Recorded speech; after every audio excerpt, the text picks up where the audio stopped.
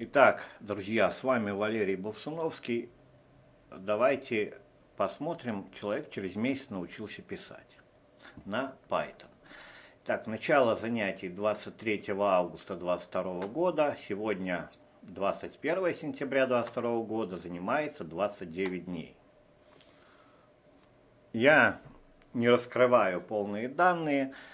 А, назовем программист Денис – надеюсь, Денис э, жаться не будет на это, на информацию, потому что очень многие люди э, годами ходят и не могут писать. Буквально на прошлой неделе я в конце покажу, и в школе еще один парень начал писать, как он выразился, с головы, наконец-таки, а не с гугла. Поэтому а, Денис начал писать код, но а, сразу вас расстрою. Ситуация была такая. А,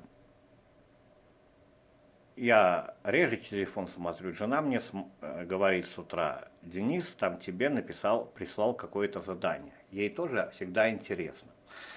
Ну и э, потом она всегда смотрит за моей реакцией. Когда я открыл задание, начал смотреть, она сказала, что, все не так плохо? Я говорю, да, неплохо. Для первого месяца, что начал писать, неплохо. Но посмотри его цель. Давайте почитаем. Вот я ему написал. Смотрите, ребят. По сравнению то, что начал писать, да, это круто. Я ему написал, вот, Денис, смотрите, когда вы пришли ко мне, обозначили, что вы хотите писать так, чтобы можно было продать. Поэтому я вас учу понимать исходный код. Вижу, время вы цените, на GitHub куча проектов, код откуда можно брать и переписывать под себя. В этом смысл работы программиста, так учат именно разработчики Django. Нет смысла переписывать то, что уже есть. Лучше дописать, экономя время. По домашнему заданию пока смотрел мельком. Для бесплатной школы я бы сказал, что прекрасно. А вам троечка. Слабо. Чуть позже напишу. Мы немножко поговорим, а потом уже мы с Денисом будем работать дальше. Для месяца работы вроде бы сошло, но это не уровень. И по системе работы с кодом постоянно говорю, этого не вижу. По атрибутам пока вообще беда.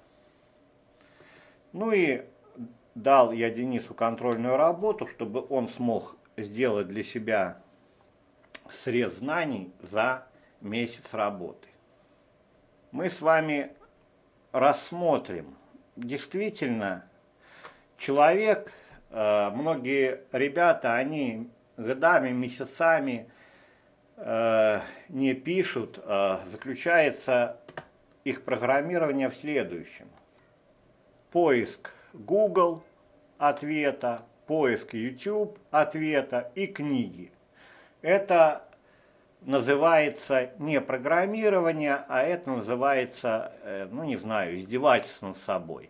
Но когда вот, допустим, Денис пришел, в этом состояла его система работы кода. Я уверен, что процентов 90 людей имеют именно эту систему работы с кодом. А как мы можем по этой системе писать, если у вас система на, настроена на то, чтобы кого-то копировать, а не думать? Писать вы не будете. Давайте рассмотрим картину сейчас. Все-таки Денис сделал большой рывок, но кого-то этот уровень устроил. Но я ориентируюсь на цель Дениса. То есть на цель, чтобы писать проекты профессиональные. Для этого пока слабо. Начальная картина, когда Денис пришел. И почему получается писать у Дениса, хотя на самом деле от Дениса очень многое зависит. Это его время, это его старательность. А, но тем не менее, пока он очень много упускает, а, особенно в плане системы работы с кодом. Но на самом деле получиться может у кого угодно, просто я в конце расскажу, почему не получается и почему получается. Работа ведется через, через GitHub. а, чтобы никто друг от друга не зависел. Это архиважно. Надо уважать время человека, чтобы он делал тогда, когда ему удобно. Здесь то, с чего надо начать, без чего не получится. Просто покажу здесь только один фрагмент. Вот начальная картина. Вот начальная картина месяц назад. Ну, конечно, мне сразу было понятно, с чем работать. Вопрос, класс, функция, метод. Функция. Функция это вот такая конструкция, которая начинается с def. Она может принимать аргументы. Я думаю, что сейчас Денис читает и хватается за голову. Денис, не надо хвататься. Любой код через полгода будет у вас вызывать ужас. К этому надо привыкнуть и не, останов... не а, относиться как к стрессу. Класс, конструкция похожа на, на функцию, отличия у класса могут быть в общем-то, э, начальные параметры были совершенно печальные. Как говорится, о программировании в, в тот момент речи не шло. Но на самом деле все изменилось через месяц. Например, мы можем взглянуть на этот файл, где мы разговаривали про сельф. Потом посмотреть файл Дениса. Смотрите, как меняется картинка. Что здесь появилось? Абсолютно верно. Денис начал, как я его научил, исследовать, что такое сельф. Почему это, почему я говорю, что это так важно? Это вообще относится к последнему пункту. То есть у него появилась работа. Он не читал только в документации, что такое сельф, а начал получать это практическим путем. Это тоже есть система работы с кодом. Каким образом работать? То есть, пропуская все через свой опыт, вот так, шаг за шагом, он все строил из кода, из кода. Вы удивляетесь, что человек, который вчера писал вот это, сегодня, чуть позже, начал делать другие вещи.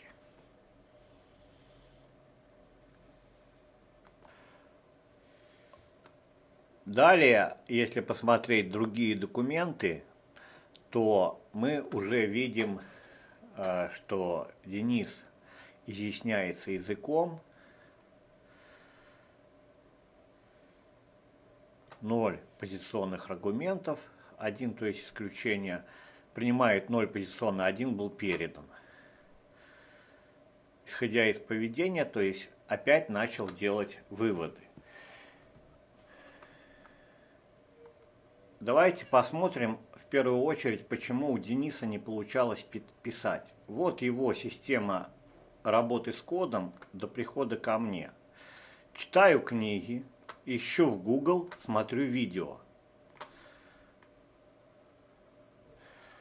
То есть вся система работы с кодом настроена на повторение – так откуда же Денис мог писать, или любой из вас, кто так делает? А такая система работы с кодом есть у 98% новичков.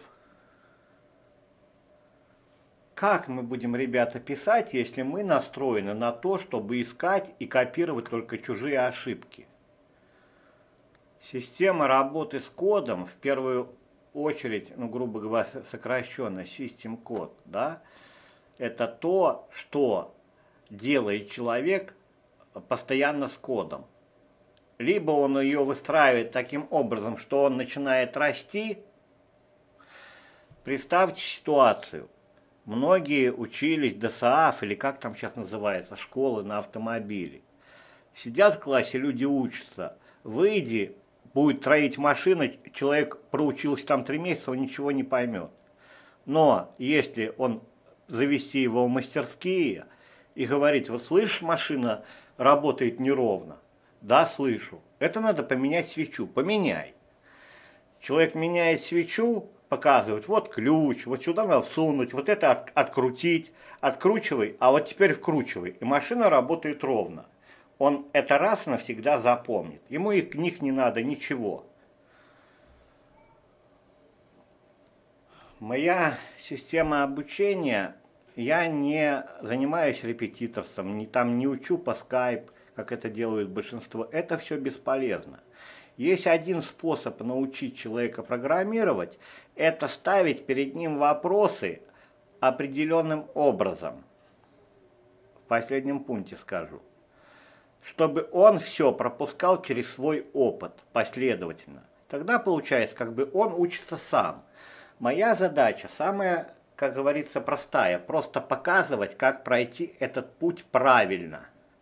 И оценивать постоянно результат. Допустим, на данный момент, к концу месяца, я для Дениса подготовил контрольную работу, то есть срез знаний, который у него должен быть на данный момент. На самом деле, если он осознает этот срез знаний, Денис, вы меня слышите? Вы напишите код в раз 10 лучше. Я сейчас не буду раскрывать все секреты работы, системы работы с кодом. Мы с Денисом начали делать совершенно другие вещи. Я не буду раскрывать все домашнее задание, это все-таки домашнее задание из восьми пунктов, но что оно предполагает, скажу. Собрать в голове функции, методы и классы. А ну-ка я вас спрошу, ребята, которые смотрят это видео. Вы, скорее всего, изучали по книгам язык программирования. Я покажу это два раза, чтобы вы поняли. Хотите угадаю, как вы изучали? Мне гадать не надо, я четыре года так изучал. Даже первую школу давал так. Вы изучали по принципу справочника. То есть сначала разбирались, что такое типы данных, они у вас остались сами себе. Потом вы дошли до функций, правда? Проскочили их, вроде там пока писали понятно. А, потом вы пришли к классам, классом изучали. Я даже скажу, что вы изучили. Вы разобрались, как наследуются классы. А, вы а, разобрались с init, скорее всего, даже, но писать так и не начали. А давайте теперь подумаем. У вас классы, функции, методы, все оказалось почему-то разным. А что-то я в этом сомневаюсь, ребят как же собрать язык одно целое, а классы, методы, функции. Нет, ребят, я не издеваюсь. Это самая главная ошибка. И так построено большинство школ. На официальном сайте языка построить каталог э, дачи информации в виде справочника – это правильно. А вот обучать в виде справочника – это неправильно. Поэтому первое, на что мы уделили первый месяц, почему человек начал писать? Потому что нам надо было функции, классы и методы собрать как единое целое.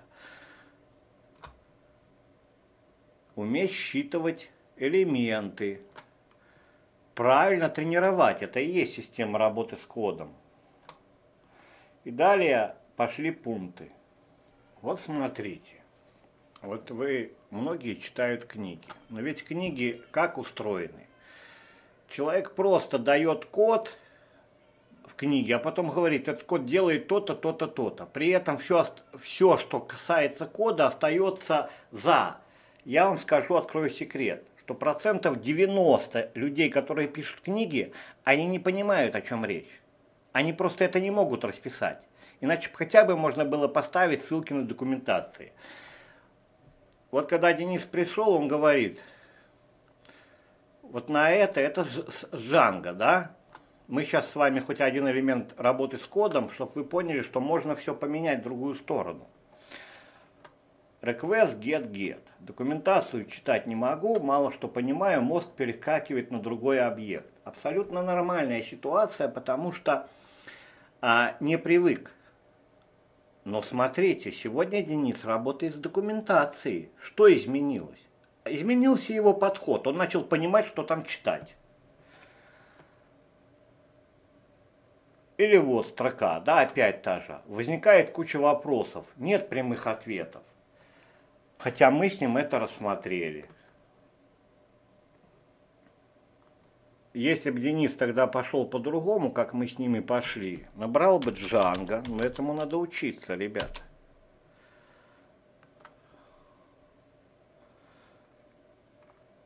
Открыл документацию, набрал бы, он бы понимал, что там request –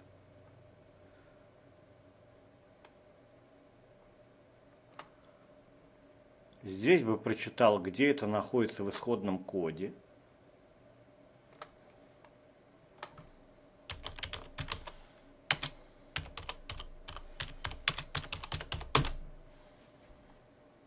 Открыл бы Django.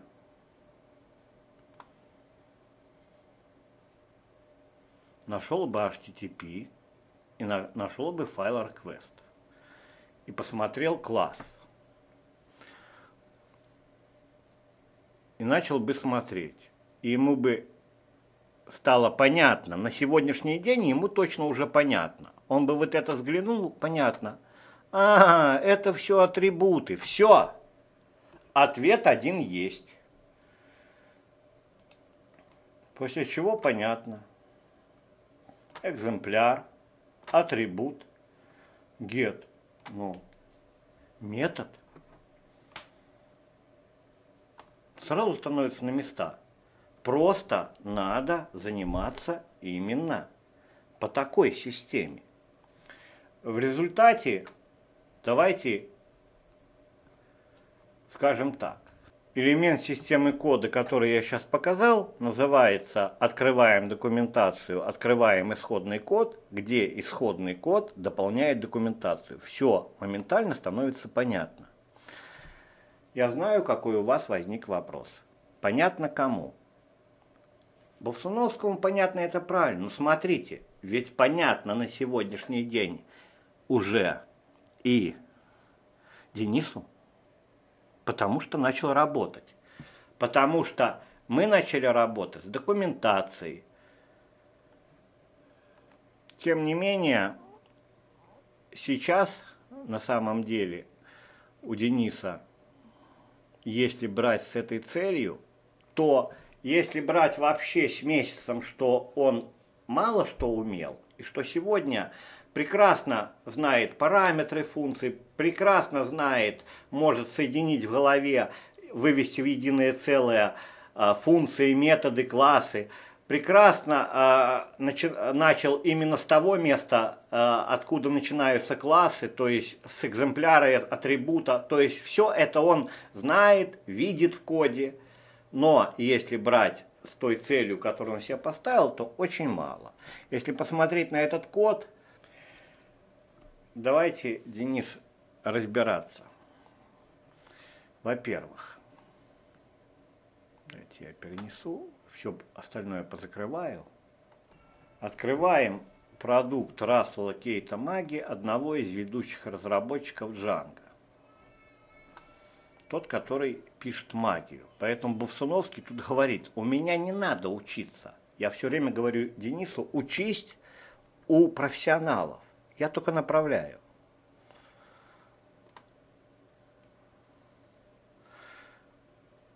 Открываем Тога, самый простой файл, который я обычно даю, который Денис уже неплохо читает, да, хотя первый я даже не буду показывать.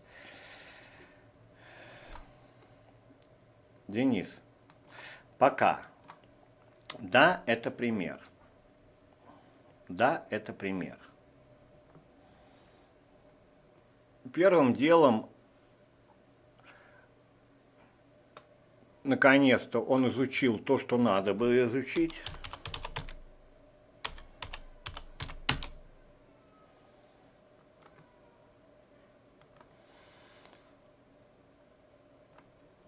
Вот когда изучили классы, большинство ребят изучают там неизвестно с чего. Да? Я говорю, что надо классы начинать откуда?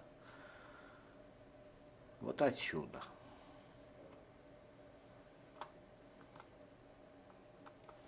С двух вещей. Объекты класса поддерживают два вида операций, ссылка на атрибут и создание экземпляра.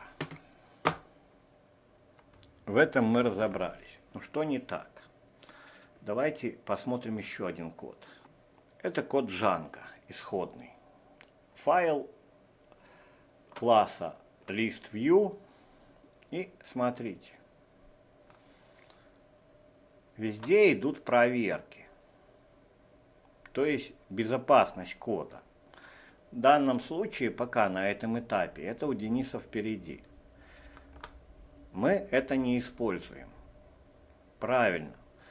А, здесь я Дениса не, не, а, не говорю, что вот Денис вот так вот делает. Я просто ему сказал, пока с атрибутами все печально. Да, человек научился получать объекты, это класс.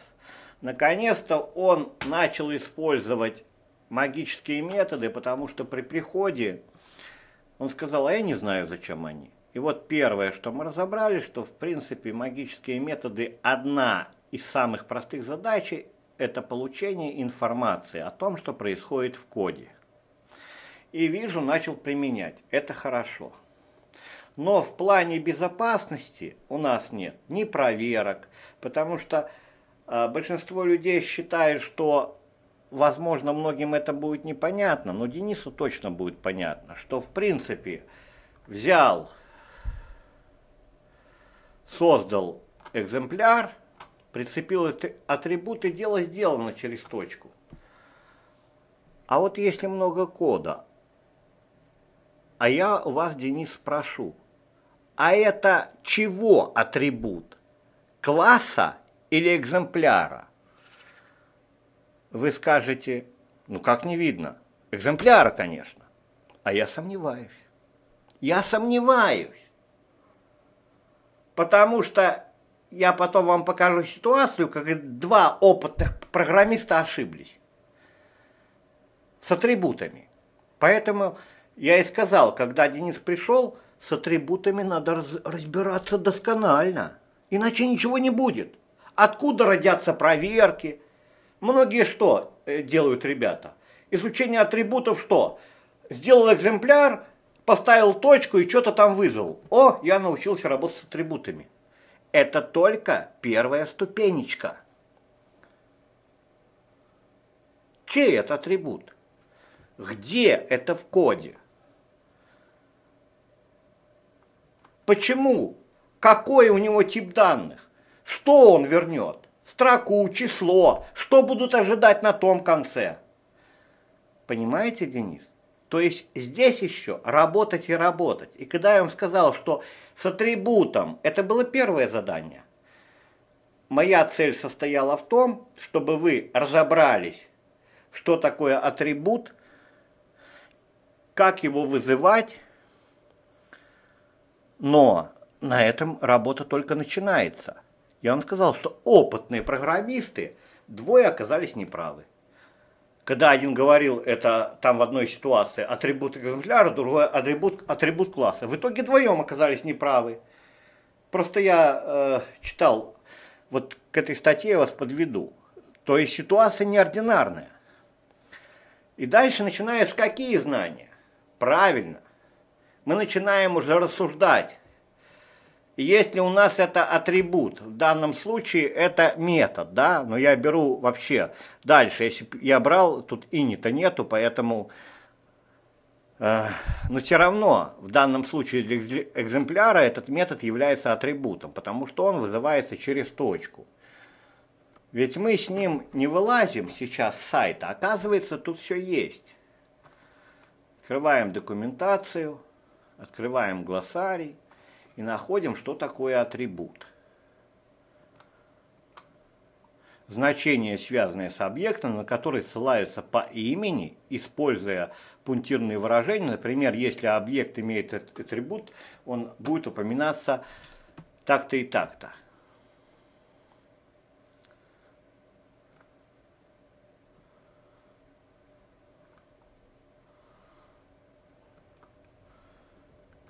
Все подходит.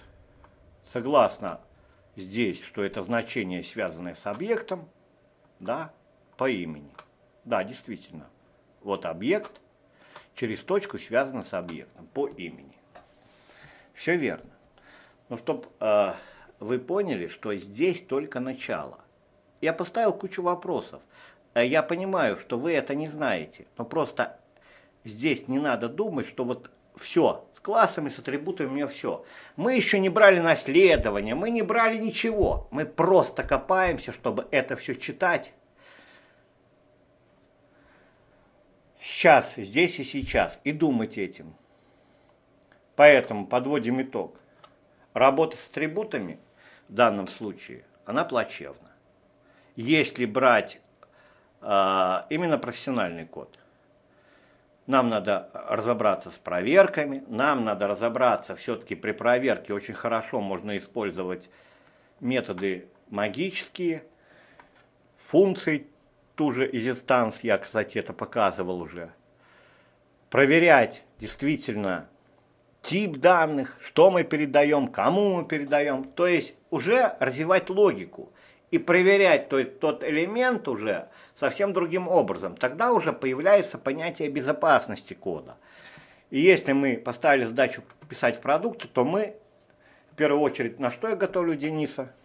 На то, чтобы работать с исходным кодом. Бери потом тонны исходного кода, переписывай под себя и, пожалуйста, строчи продукты.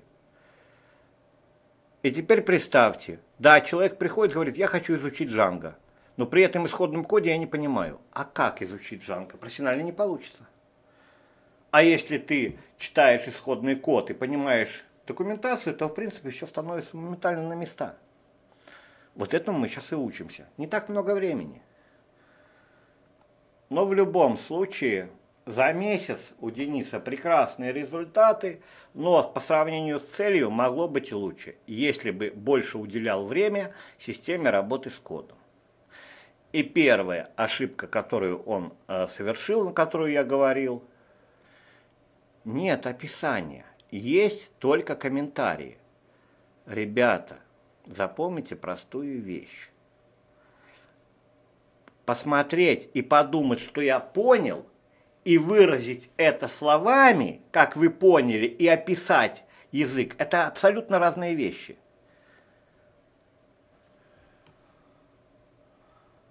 И последний пункт остался,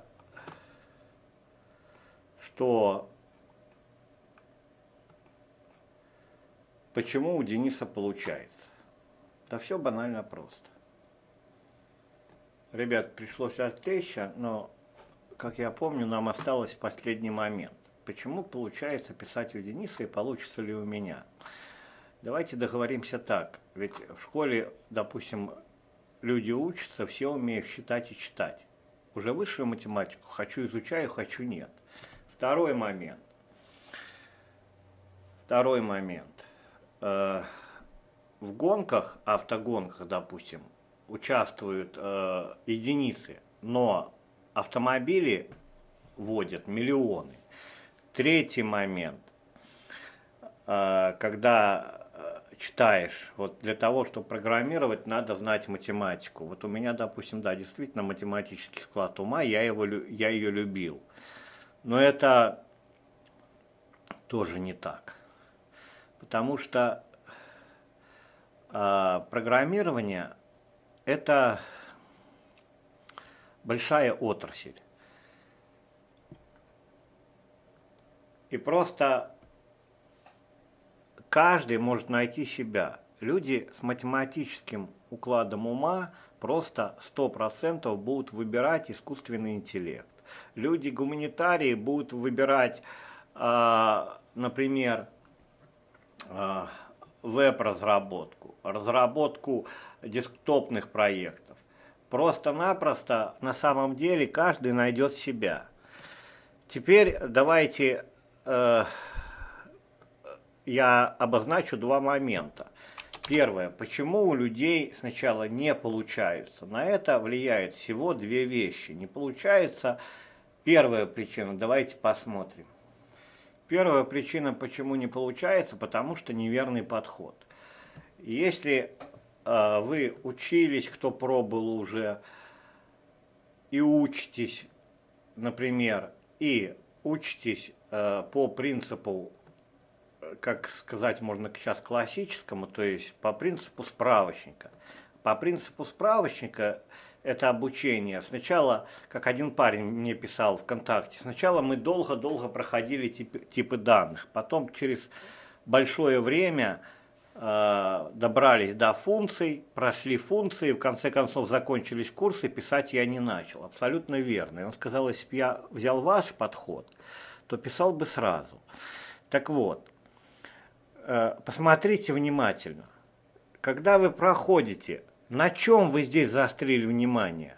На том, как работает список или строка, или там следующее? А как это вам помогает? Никак. Язык надо собирать. Вторая причина, почему не получается. Это система работы с кодом, которую надо менять. Вот большинство людей Э, подавляющее. Большинство из э, людей э, увидит себя. Нет системы работы с кодом. Вернее, она есть у всех, да, у каждого человека, который занимается неважно чем, программированием, там какие-то другие, всегда есть какая-то его личная система. 99% можно сказать, читаю книги, ищу в Google, смотрю видео. То есть здесь, где здесь ответ, что вы научитесь программировать? Иными словами, это получается, вы э, лазите туда-сюда, туда-сюда, а для того, чтобы получилось, надо делать абсолютно иные вещи. Вот другой Денис. Есть э, люди, которые учатся э, в, просто по курсам, да, э, и э, в группе я, тот, кто активно работает, помогаю. Но это одно сильно отличается от индивидуального обучения. Если в индивидуальном обучении я опираюсь лично на человека, то в группе я опираюсь на домашние задания. Но тем не менее, вот пришел другой Денис, да, тоже, не знаю, месяцы, годы он там ходил по сети, но через месяц он тоже написал. Сам факт, что уже есть само написание кода, а не гугление, произошел. То есть человек понял, что может писать. А, просто у этого, у Дениса, который учится индивидуально, у него не было вообще знаний, у Дениса, который вот здесь учится, у него куча знаний, да, разрозненных. Он умел писать декоратор, умел классы. Надо было всего лишь соединить все в голове, и все пошло, да, то есть, но это и есть работа преподавателя. То, что является основным э, в том, чтобы начать писать, надо подойти определенным образом. Я рекомендую всегда начать с функций. Сейчас куча людей э, скажет, да, что ой, а как это? Банально. Давайте посмотрим. Вот у нас есть функция.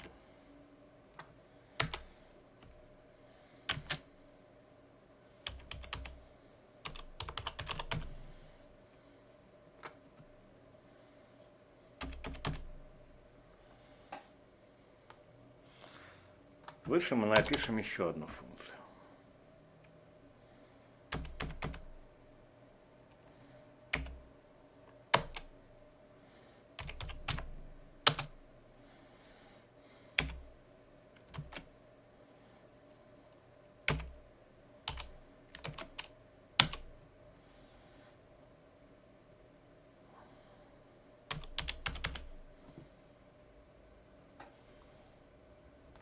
Давайте теперь найдем функцию Kotlin.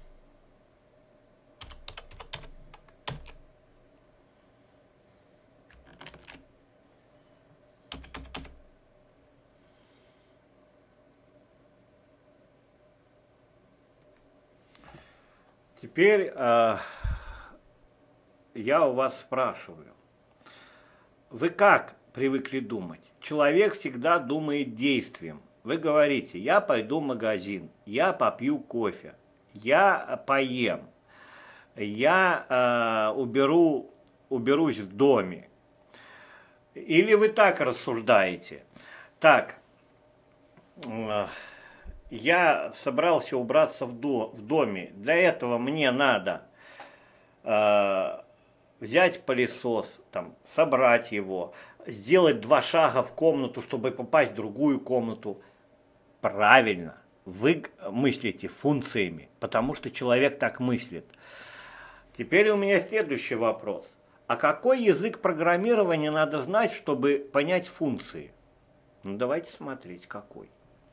Итак, функция состоит ключевое слово, имя, либо анонимное без имени. Дальше параметры. Дальше тело функции. Это питон. Ну давайте смотреть в Котлине. Может что-то по-другому. Так, нет, надо язык программирования знать э, плюсы. Не, не, что-то не то. Тогда смотрим в Kotlin. Ключевое слово, имя, параметры, тело функции. То есть все одинаково. А, вы скажете, вот здесь вот скобочки другие. Но это называется синтаксис. Да и хрен с ним. Раз-два написал и понял. Но в принципе функция, смотрите, а вдруг мы откроем JavaScript, вдруг мы откроем JavaScript, ну давайте попробуем, там будут функции по-другому, ну сто процентов, гадалки не ходи. Не, будет по-другому, но точно. Потому что как же люди изучают?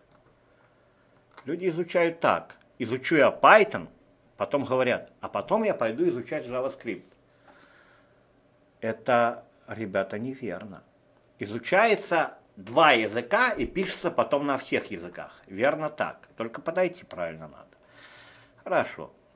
Берем функции JavaScript и вставляем сюда. Ну да, не, но у нас хватит с вами терпения. Мы же с вами не дураки. Должен, должен же быть какой-то подвох, согласитесь? Ну давайте смотреть. Итак, функции JavaScript. Ключевое слово, имя, параметры, ну и дальше тело. Нет, опять. Эх, блядь, опять неудача. Ну, ладно, черт с ним. Пойдем-ка мы... Все-таки здесь есть подвох. Есть, ребята, подвох. Сто процентов. Давайте-ка мы посмотрим. Ах, си. Ну, там точно. Это же прародитель всех языков. Там точно будет что-то не то. Там будет что-нибудь другое. Ёсть твой раз. Вот скотина. Опять почти одинаково. Ну и с Пайтоном чем-то похоже. Открываем.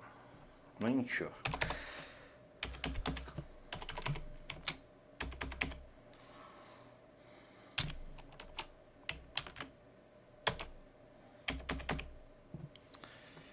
Опять неудача. Вот не везет. Вот не везет все чем-то похоже. Так может хватит ерундой заниматься? Во всех языках для того, чтобы понять функцию, не надо знать никакого языка. Надо просто понять функцию, как она устроена. А вы ничего общего не видите. А, да-да-да-да-да. А скажите, пожалуйста, а вот это вот вам скобочки ничего общего не видите? Что везде есть эти скобочки? А, ребят? Значит, все-таки надо писать на 10, учиться отдельный язык, или все-таки надо один раз разобраться в функциях, разобраться в параметрах, и я могу открыть абсолютно любой язык и понять, я понимаю, что мне надо разобраться в любом языке в том, что делают параметры. Для этого, если я изучил Python, да, мне будет достаточно минут 20. И я могу писать. Дальше. Циклы, конструкции, они будут все одинаковые во всех языках. Во всех. Будут различаться типы данных, где-то будут э, массивы, где-то последовательности, где-то кортежи. Скажете, Бусуновский, слушай, ты ж нам Америку открыл. Тогда вы открываете для себя Америку. Для меня это все понятно. Тогда мне ответьте на вопрос. Вот вы изучаете долго-долго типы данных. Вам кто-то объясняет их с очень умным видом, но я предвижу ваш вопрос в то время, когда вы их изучаете. У вас стоит вопрос такой, к чему это прицепить, что вообще это такое и когда я буду писать. Я вас успокою, никогда, пока не измените подход. Потому что таким образом, когда вы будете проходить, когда вы дойдете до функции, как правило, что происходит? Их пролетают. Их пролетают. И пошли дальше. Ага, ухватились за классы. А за классы каким образом ухватились? Правильно. С наследования. Ох, мы сразу вдарим телегу вперед лошади поставили. Ни хрена не едет. Не пишу. А Болсуновский тут прицепился к этому бедному Денису, который начал писать код.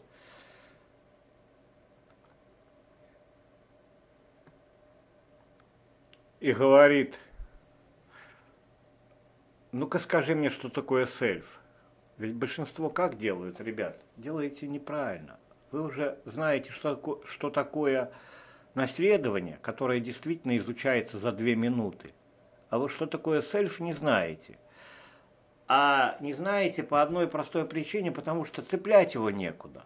А если вот, слушайте, бляха-муха, Фигня какая-то получается. Написали в классе метод init. Смотрите, ничего не находите общее. Опять параметры.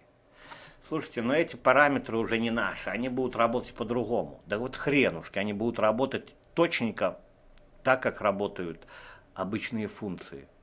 Смотрите, мы уже у нас что-то вырисовывается. Вот теперь можно подходить к сейф. Ну ладно.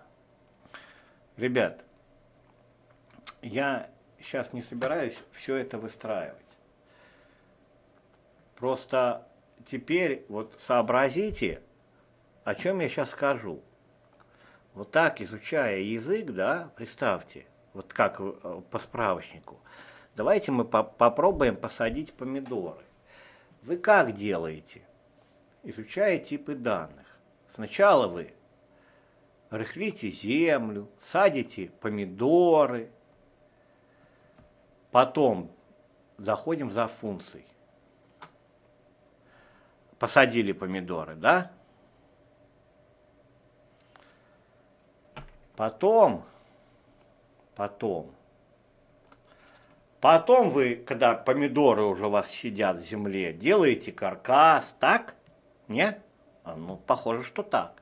Когда вы уже сделали каркас, дошли до классов, да, тогда вы начинаете крыть пленкой. Или не так? Или по-другому сделать надо? Наверное, сначала надо сделать каркас. Ну, парника. Логически так или нет? То есть сначала функции все-таки, потом накрыть пленкой а потом уже копать, да, там помидоры сажать, то есть сам код. Или не так? Так. Поэтому если вы в начале обучения свели общее в голове, что общее у функций методов, то есть классов и методов, выделили бы это общее, да, то у вас бы получилось другая картина. У вас бы не разнилось, что функция это одно, класс другое, а метод это третье. У вас бы получилось, что это одного ягода поле, поле, а, а, как это правильно сказать, одного, одного поля, поля ягоды. Но принцип вы поняли. На самом деле идет кропотливая работа. Но сначала выстраивается то, что является ядром. Основательно изучаются важные моменты. Один из них я вам показал. Параметры. Вот тот, кто сейчас смотрит видео и долго-долго изучал язык, открываем файл.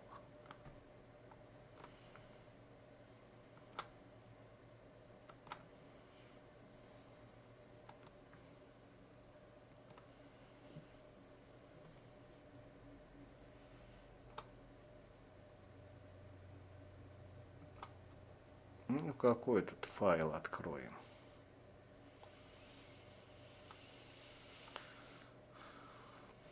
Ну, например, button.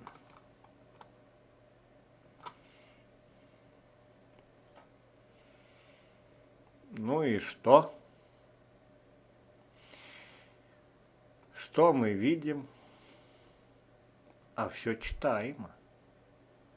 Вот оно.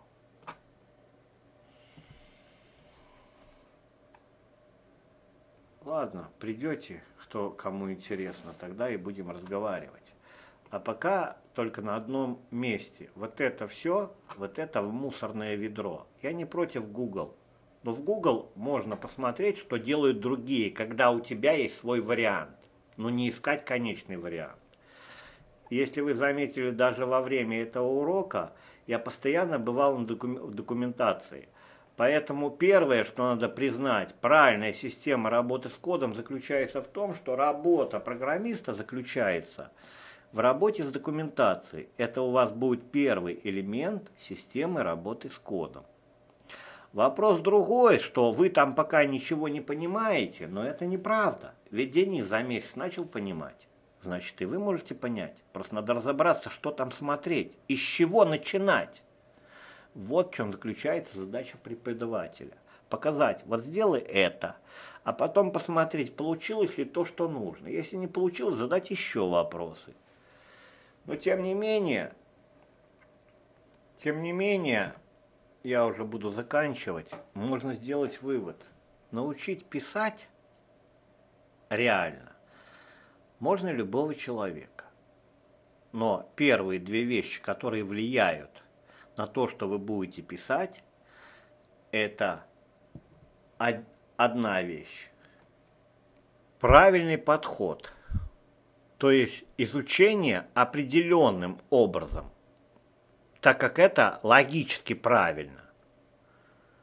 В школе я рекомендую начинать с функций, почему вы убедились. Тогда вы начинаете писать уже сразу. Потому что, открывая абсолютно любой документ, любой документ, первое, что вы должны были сделать, это считать параметры. Странно. Вот э, кто, ребята, из вас э, давно занимается программированием и никак не может начать писать код, скажите, что вы здесь видите? Скажите, пожалуйста, вы залазите в исходный код? Скорее всего, ответ нет. Вы можете считать параметры моментально? Скорее всего, ответ ну, не знаю, либо нет. Ну, а файлы, посмотрите, из чего все состоят? Из методов, либо из функций. Наверное, отсюда и надо начинать. Тогда вопрос, хорошо, если вы изучаете, пошли изучать типы данных, как вы изучаете, да? Кстати, оговорюсь, их нельзя понять новичку, потому что для того, чтобы понять параметры, они понимаются просто. Надо понимать функции и классы, тогда вы их полноценно поймете. А, извините меня, работа с числами и понять последовательность как строку и написать там какое-то слово, да, то это и так человек понимает логически. Поэтому для начала понимания работы с такими методами, как строка и как число, уже достаточно, а потом разберемся дальше. Но если вы не знаете параметров, то откуда будет строиться логика? Если вы не знаете, когда и какие будете применять параметры, для этого не надо никакой язык знать. Просто надо знать, что такое параметры. Если вы скажете, Болсновский так не изучает язык. Но у меня люди пишут, понимаете, это факт. Только тогда объясните мне следующий момент. JSON – это формат передачи. Любой код я могу передать из языка Python в язык C, из языка C в язык JavaScript. А почему это может произойти? Потому что все языки схожи, имеют абсолютно одинаковую структуру. Ну, вот написали. Вот люди, которые делали JSON. Практически все современные языки программирования поддерживаются в той или иной форме. Это имеет смысл, что формат данных – а, основан на этих структурах. То есть большинство языков реализовано как массив, массив, массив вектор последовательности. Ну, в Java массивы в основном будет использовать, в Python последовательности, в GC массивы, но в любом случае это типы данных, да? Как бы, если бы языки были не схожи, люди написали. Поэтому вот эту вот утопию я сначала буду изучать Python, потом пройдет немножко времени – и я начну изучать JavaScript. Ребят, так не бывает. Вы себя путаете. Изучается конструкция языка. И изучать надо два языка сразу. Потому что будет проваливаться именно тогда, когда вы открываете JavaScript и открываете Python. Либо как, допустим, Денис со школы который меня все-таки второй раз не услышал. Вот который писал, да, здесь, который пробило. Он хочет изучать Kotlin и э, Python и э, блокчейн. При этом я ему написал полностью картинку, которая должна у него быть на данный момент. А, допустим, с Денисом, которым мы занимаемся индивидуально, все это воплощается в индивидуальном коде. Конечно же, это уверенность большая. Здесь я опираюсь только на задание и подсказываю то ребятам, которые бесплатно подсказываю, а, которые активно занимаются. Но он взялся за Python, от функций, э, хотя он правильное направление мыслит, что я сейчас порой фун, э, разобрался в функциях Python, пойду Kotlin. Но если ты собираешься блокчейн писать, то почему бы тебе не взять блокчейн функции? Это обогатит. Потому что давайте посмотрим. Еще один секрет системы работы. Ну какой секрет? Когда это тайна уже, да, знают все. Как с функциями работать? Параметры функции, вызов функции, исключение. Это будет работать для двух языков. Для Python, для Kotlin и для любых других, JavaScript. Но для солидности он обогатит себя. Почему? Потому что здесь будет плата за газ. И вот если бы Денис, который занимается сейчас бесплатно, вот это вот понял, потому что здесь включается новый механизм, солидность, солидность. Если мы на Python написали, оттестировали, работает здорово, я уже еще не, не говорил о таких вещах, как тестирование, потому что это важно, но нет времени. Это одно. Но когда он подключает, допустим, тот же солидность язык, то, во-первых, он учится писать смарт-контракт, то есть изучает технологию блокчейн. Python ему дает возможность э, написать само приложение, которое будет руководиться блокчейн, например, мобильное, э, веб-сайт, а здесь надо смарт-контракт. Но вот эта вот плата за газ о чем говорит? Там тоже есть данные, есть функции, но от кода зависит стоимость. И нас это сильно подстегивает, а действительно, а где нам сохранить данные? И потом мы это начинаем переносить на Python. А мне действительно что использовать? Словарь, массив, чтобы это было быстрее. Вопрос, чего я добиваюсь. Но сам факт, есть алгоритм изучения, это есть элемент системы работы с кодом. Я что делаю?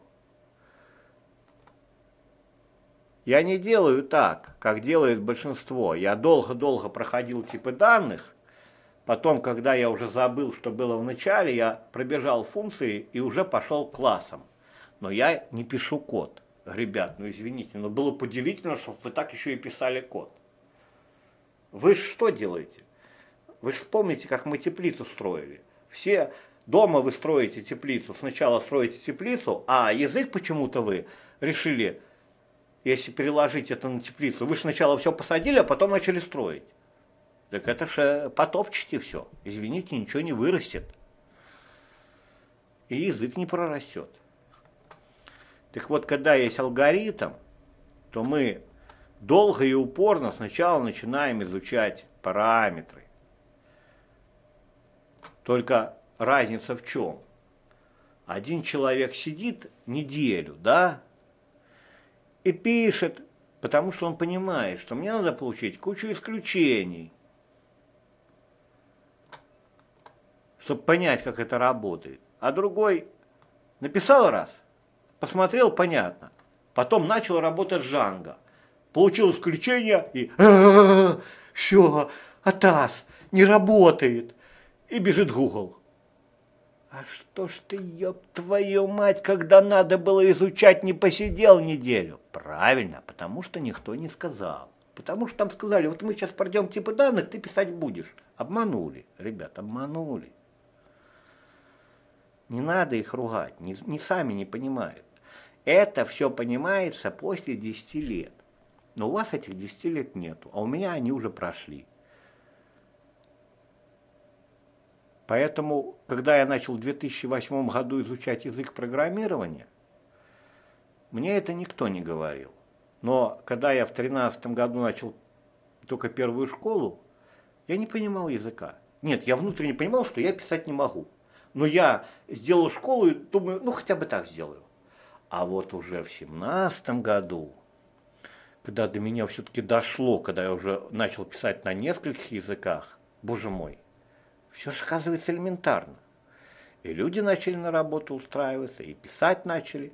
И теперь я могу сказать, что написать, писать, вот вы сами поняли, да, интуитивно, что можно написать, э, научить абсолютно любого человека. Важен подход, ну и ваше старание. Потому что это не сложно и не так просто, потому что надо просто работать сайт школы spb-tut.ru несколько видео, видов обучения, чтобы не было вопросов, отвечаю. Обучение есть первое, недорогое, по видеоурокам плюс бесплатные занятия в группе. Вы занимаетесь. Многие начали писать. Есть индивидуальные занятия. Ну вот я приводил пример, человек через месяц начал писать. Есть групповые занятия, только группы я не собираю, сами собираетесь разница между индивидуальными групповыми занятиями, что в индивидуальных занятиях есть постройка под человека, есть постройка под уровень. То есть, допустим, я разбирался, что страдает атрибуты, уже себя помечал, да, что у Дениса с атрибутами беда, что беда с классами, то есть, и уже брал конкретный план под конкретного человека, конкретный уровень. А в в э, групповых занятиях, в принципе, я только э, делаю как, что писать будете, да, но нет постройки под конкретного человека, есть система, да, по которой точно будете писать. Ну, допустим, если э, один хочет писать на Django, а второй э, собирается писать э, допустим, искусственный интеллект и использовать там, пусть анаконду, да, то я не буду ни под одного, ни под второго подстраиваться. По одной простой причине я дам вот, вот так вот надо делать, да, язык. Но а, выбор конструкции языка, а, изучение уже более плотно, там, что ближе к Джанго, тут уже в групповые занятия не входит. Но это дешевле зато стоит. Тем не менее, здесь мы ставим цель э, читать и писать код, э, будете, да, в зависимости, э, здесь есть плюсы, э, видны ошибки всех. А по, э, по индивидуальным занятиям, Э, с индивидуальными занятиями, ну, э, вы видели. То есть здесь идет кропотливая работа ежедневная. Э, при этом нет такого ни в одном случае, что, допустим, вот давай приходи к часу, мы будем с тобой там заниматься. Нет, я не терплю, когда я влажу или кто-то влазит в мое время. Человек, у человека, по моему пониманию, не должна изменяться жизнь. То есть он должен заниматься программированием в удобное время и делать это э, в кайф. Поэтому и работа идет через GitHub. Ну и возвращаемся э, к нашему Денису. Он, конечно, огромный молодец. Э, и я бы сказал, да, возможно, вот то, что он начал писать код через месяц, он радуется. Но чтобы он сильно не радовался, я ему показал его цель. Денис, вспоминайте ваша цель, проекты, которые можно продать. Поэтому первое, что мы начали работать, это с исходным кодом. И здесь, если посмотреть вот с этой целью, то пока все, еще только мы прошли первую ступеньку. И сейчас я от вас, Денис, жду, чтобы вы мне все-таки выполнили контрольную работу, которую я дал, там 8 пунктов, и свели все воедино, чтобы было видно, что э, на какой уровень мы с вами вышли, чтобы это я видел и чтобы это главное вы видели. Но самый главный для меня пункт восьмой, я вам писал, где вы для себя в качестве инструкции – описываете вот эту целостную картину, в которой хотелось бы увидеть в одной связке классы, методы, функции, примеры. И главное все это описать словами, то есть чтобы у вас хватило именно слов – Ну а по системе работы с кодом мы с вами продолжим работать. Изменения большие есть, но в коде вы это мало используете. Значит, надо работать. Я никого не заставляю, но тем не менее, если мы использовали с вами систему работы с кодом полнее, то результат был бы немножко другой. Ну а так, у вас получается, это правда программировать, но э, на лаврах почивать, ох, как рано. Нам надо немножко иной уровень. Спасибо всем за доверие. Обязательно все получится. Так что все. Ставьте лайки. Рад, что если вы немножко начали понимать, что есть, что программирование, если у вас была мечта, то это реальность, поверьте мне. Тут даже говорится, про, убедитесь на своем опыте. spb-tut.ru и блокчейн.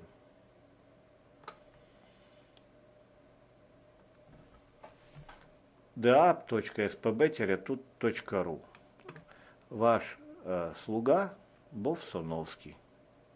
Самый большой неуч – самый тупой из вас это я. Потому что я 7 лет до этого доходил. А вы за это можете дойти до, до этого месяца. Главное, ребят, запомните, что у вас все получится. Просто надо правильно подойти. И запомните второе. От природы каждый человек программист. Это от природы. Я вам рассказывал про действия. Поэтому тупой – это Болсуновский. Вы все умнее меня, поверьте мне. Все получится.